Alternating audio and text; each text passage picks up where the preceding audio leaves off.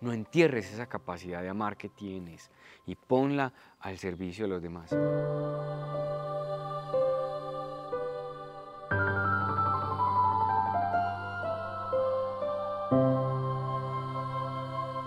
Y llegamos al sábado 31 de agosto, fin de esta semana, fin de este mes tan espectacular, el mejor mes del año.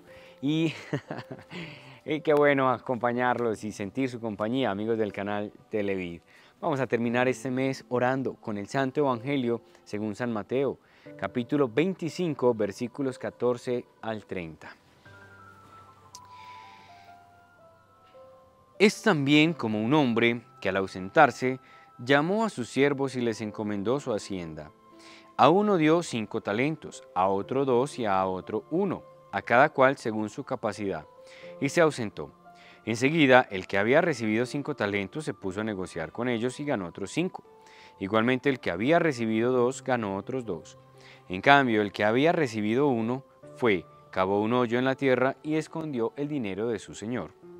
Al cabo de mucho tiempo volvió el señor de aquellos siervos y se puso a ajustar cuentas con ellos. Se llegó el que había recibido cinco talentos y presentó otros cinco, diciendo, Señor, cinco talentos me entregaste, aquí tienes otros cinco que he ganado. Su señor le dijo, Bien, siervo bueno y fiel, ya que has sido fiel en lo poco, voy a ponerte al frente de mucho. Entra al gozo de tu señor. Se llegó también el de los dos talentos y dijo, Señor, dos talentos me entregaste, aquí tienes otros dos que he ganado. Su señor le dijo, Bien, siervo bueno y fiel, ya que has sido fiel en lo poco, voy a ponerte al frente de mucho. Entra en el gozo de tu señor. Se llegó también el que había recibido un talento y dijo, Señor, sé que eres un hombre duro, que cosechas donde no sembraste y recoges donde no esparciste. Por eso me dio miedo y fui a esconder bajo tierra tu talento. Mira, aquí tienes lo que es tuyo. Mas su señor le respondió, siervo malo y perezoso, si sabías que cosecho donde no, sembré y recojo donde no esparcí, debías haber entregado mi dinero a los banqueros. De ese modo, al volver yo, habría cobrado lo mío con los intereses. Quítenle, por tanto, el talento y dénselo al que tiene los diez talentos, porque a todo el que tiene se le dará y le sobrará, pero al que no tiene se le quitará hasta lo que tiene y a ese siervo inútil échenlo a las tinieblas de fuera, allí será el llanto y el rechinar de dientes. Palabra del Señor.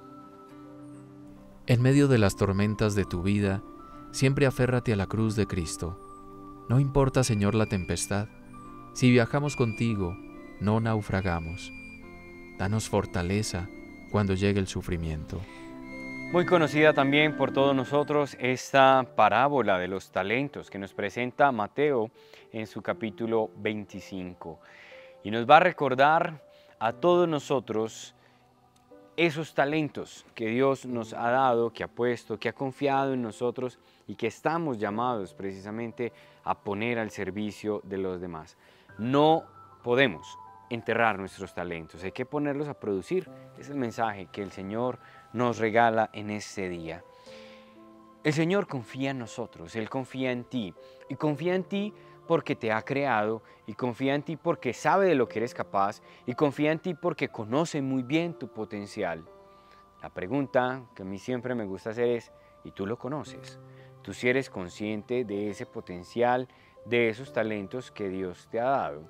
Porque es que una cosa es que Dios nos los dé, que Dios a todos nos llena de, talentos, pero eres consciente de ellos, cuáles son, de qué tipo, para qué eres bueno. Y la manera de conocerlo no es simplemente decir, ah, sí, yo tengo talento. No. La mejor manera de conocer nuestros talentos y de saber cuáles son, en qué somos fuertes, es precisamente cuando los ponemos al servicio de los demás. De lo contrario, los estamos enterrando, ¿sí? Y de lo contrario, nosotros no estaremos siendo plenamente conscientes de en qué consisten esos talentos. Entonces, Dios a todo nos da, y esto me gusta mucho, según su capacidad. Porque es que nosotros sufrimos por dos cosas fundamentalmente, siento yo, a, la hora de hablar de los talentos. Por un lado, o porque no sabemos qué tenemos y cuántos tenemos, o segundo, porque también vivimos pendientes son de los talentos de los otros y no los nuestros. No, ahí vamos a sufrir. Si yo soy consciente de mis talentos, lo que Dios me ha dado según mi capacidad, pues con eso trabajo y con eso me alegro. Y no voy a estar sufriendo porque el otro tiene talentos y yo no. Y no voy a sufrir porque yo no sé cuáles son mis talentos. Se trata entonces de esas dos cosas. Primero, reconocer que todos los tenemos porque Dios nos los da a todos. Qué bueno que tú identifiques cuáles son. Y segundo, que no te compares con el otro, porque Dios a ti te ha dado los que Él sabe que tú puedes producir y poner al servicio de los demás. En tus manos, Señor, pongo a mi familia, para que reine en ella la concordia, para que la comunicación sea siempre amable y respetuosa Ayúdanos con tu gracia a aliviar todo el rencor, división, insulto, indiferencia. Padre Santo, que seamos como la Sagrada Familia, siempre unidos, siempre llenos de tu gloria. Amén. Suelo hablar mucho de las comparaciones porque es algo que encuentro comúnmente en las personas como uno de los grandes motivos de sufrimiento o de angustia. Eso traducido en un vicio que no está para nada bien y que nos hace mucho daño es la envidia, ¿cierto? O sea, yo tengo envidia de ese que tiene cinco talentos porque yo tengo dos. Yo tengo envidia de ese que está produciendo tantos talentos y en cambio yo estoy produciendo muy poquito. Eso nos pasa, nos pasa mucho, incluso a nosotros también, dentro de las comunidades nos puede pasar, incluso entre la misma familia puede pasar. Y uno lo identifica es porque me da rabiecita que a este le vaya tan bien. Me da rabiecita que a este lo reconozcan las personas o que a este eh, esté vendiendo tanto o que este esté comprando tantas cosas ya, que haya avanzado, que haya crecido. Lo escribo así como me da, me rabiecita, pero sobre todo por dentro es como ese malestar de ver que el otro está bien. No. Eso nos hace mucho daño cuando nosotros vivimos comparándonos y no reconocemos que el Señor a cada cual nos da según nuestra capacidad. Y que bueno que en lugar de compararnos nosotros seamos conscientes, estos son nuestros talentos y repito, los pongamos al servicio.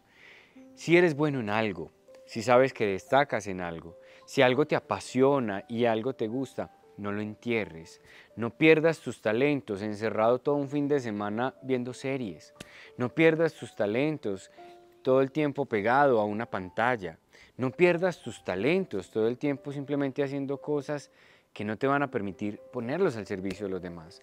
Se trata de que nosotros tengamos esa capacidad de poner al servicio como, pues si es en, en lo musical, desde, la música. Si es desde esa capacidad racional, pues poniendo al servicio de los demás esa inteligencia que tenemos. Si es desde un arte, una destreza, pues poniendo al servicio de los demás ese arte o esa destreza que tenemos, de muchas formas. Yo sé que Dios a todos nos ha dado un gran talento, una gran capacidad. ¿Cuál es? La de amar. Amar. Que bien está para eso, que bien está hecho para eso nuestro corazón, dice Santa Teresita. Ese es el talento que todos compartimos. Los otros, algunos tienen un talento, una capacidad, una habilidad para hacer unas cosas, otros para otras, pero todos tenemos una misma capacidad, un gran talento, la capacidad de amar. Por eso, no entierres esa capacidad de amar que tienes y ponla al servicio de los demás. Ama, entrégate, ayuda, sirve, eso es la forma como nosotros podemos multiplicar los talentos. La caridad crece al ser comunicada, dice Santa Teresa de Jesús. No es ese talento que tenemos de amar, crecerá si lo comunicamos, si lo compartimos con los demás. Pero si lo entierras, tu amor será pequeño y no lograrás ver todo lo que se alcanza si se vive en el amor. Así que a multiplicar esos talentos y sobre todo ese que todos tenemos, la posibilidad y la capacidad que tenemos de amar.